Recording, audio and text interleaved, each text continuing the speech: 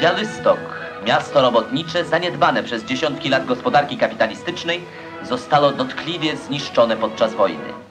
Dzisiaj w coraz szybszym tempie nikną ruiny. Odrabia się haniebne zaniedbania fabrykanckiej gospodarki.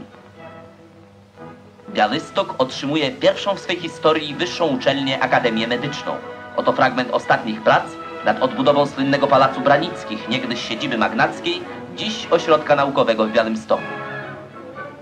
W centrum miasta powstaje nowoczesne osiedle Zoru.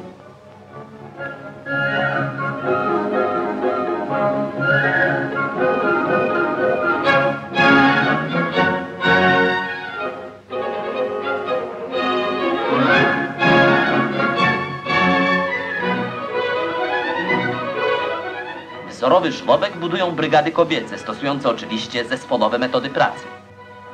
Najlepsze wyniki osiąga zespół Wiery Majewskiej, murarki białostockiej, wielokrotnej przodownicy pracy.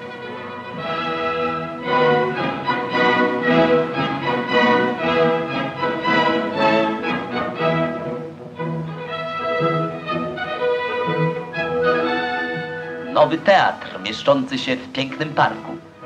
Tu znajdują odpoczynek i rozrywkę budowniczowie Białego Stoku, białostoccy robotnicy.